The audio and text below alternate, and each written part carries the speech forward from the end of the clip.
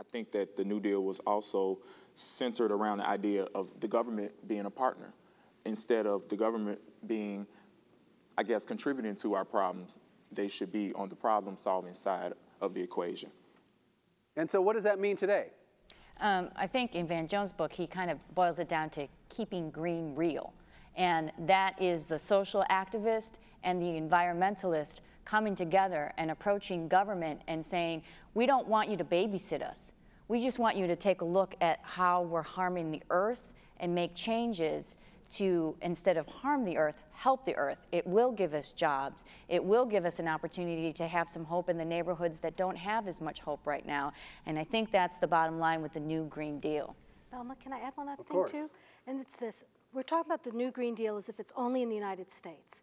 But in fact, the environment and the economy is international.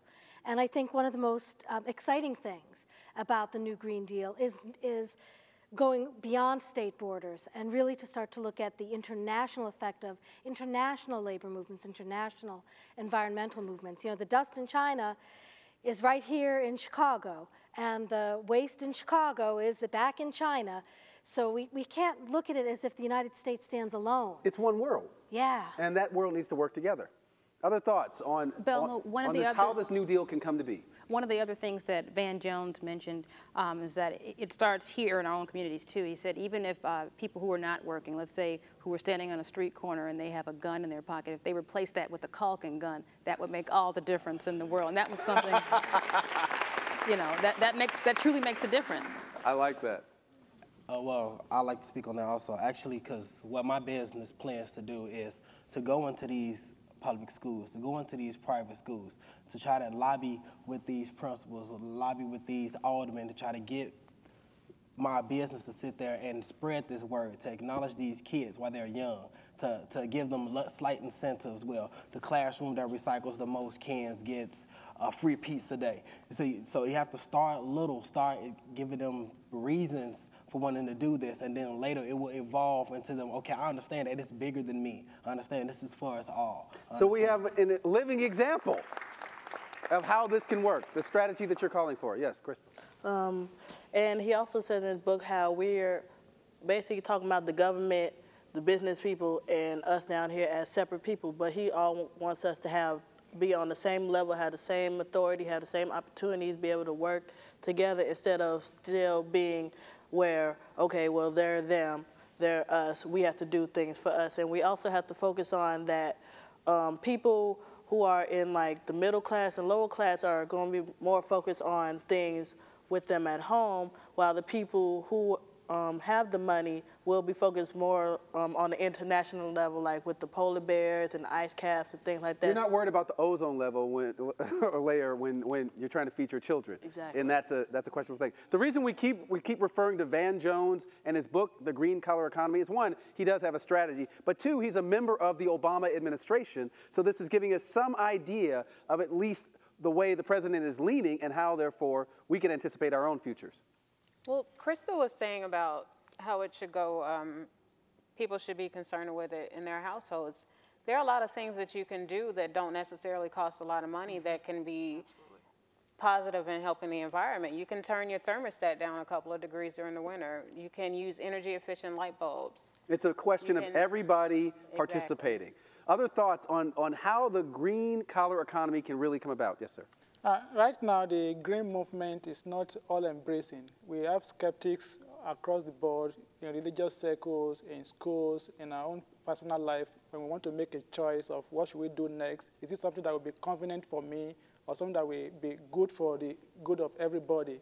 So what part of the solution is for us to reach out to begin to offer more solutions, to begin to offer more confessions, to begin to offer more strategies and agenda instead of like accusing each other like, okay, you are the cause of this problem, I'm so good, I don't pollute the environment, you are the bad guy or the good guy. We need to reach out and form an all-embracing uh, movement. Well, And because that it's one way- planet, so there can be no heroes and villains. There is no us versus them. There's one, one planet. So uh, what you're calling for is eco-populism. Any thoughts on that? The idea of going from the eco-elite, because it seems like it's all celebrities talking about the green movement, to making it more of a mainstream and more of a universal movement. Are thoughts? I thought I'll speak Go on ahead. that. Um, as a minority within our community, sometimes we have resentment towards those eco elitists, towards those the people who have the corporations and everything. We need to stop seeing them as the enemy. We feel sometimes they want us to be oppressed purposely. So we need to take these problems to their door. We need to try to befriend them. We need to try to get them to understand what we're going through is our concern also. It's not just their concern, and we do care about ourselves. We do care. It's not just about our generation now. It's about our kids. It's about our kids' kids. Because this is only one earth, as we know of. This is the only place that we can live and habitat as as humans. So we need to understand that it's not us against them. We need to be one. We need to become unified. And we need to look very carefully at, the, at how the children are doing. Okay, we need to look at how our children are doing as an indicator that can bring us all together, whether you're upper income, lower income. We have a lot of childhood illnesses that are very concerning, including something like autism, where one in every 150 children in the United States now is diagnosed with autism. What did that number used don't to know be? Why. One in 10,000 30 years ago has become one in 150 today. And that number continues to rise. There's no known cause and there's no known cure. We have no idea why no this is idea. happening. No, there's theories, but there's no treatment. There's no, I shouldn't say that, there's no medical treatment to end it. There are therapies that can be done so that children can function more highly, but there's no cure. Well, I, I live in what's supposed to be a pretty nice neighborhood. Mm-hmm. I've got two nine month twin boys, and every single day it's like an autism watch. I'm looking for signs, Mm-hmm. looking for signs, and because no one can explain what this is. This is your field of expertise. You read the literature. How can it be that we have no idea at this day and time if our children are going to be okay? They'll why know, they won't be? they will know one day. They will understand that these things certainly take time. But I look, personally, this is my theory, I look at what's changed, and what's changed is the environment has gotten, uh, there's a lot of toxins in our environment, there's a lot of toxins in our furniture, there's toxins all around us, there's toxins in plastic water bottles, plastic food, and we don't know what it's coming from. But I would say to bring us all together to find a solution so that the kids can be healthy. There it is. Because I guarantee you, those corporations you're talking about, they have children they're concerned That about are- too. mhm, That- absolutely. Everybody has a stake in this, and they've got money that we can all benefit Absolutely. from. That's that's how a green economy could really work.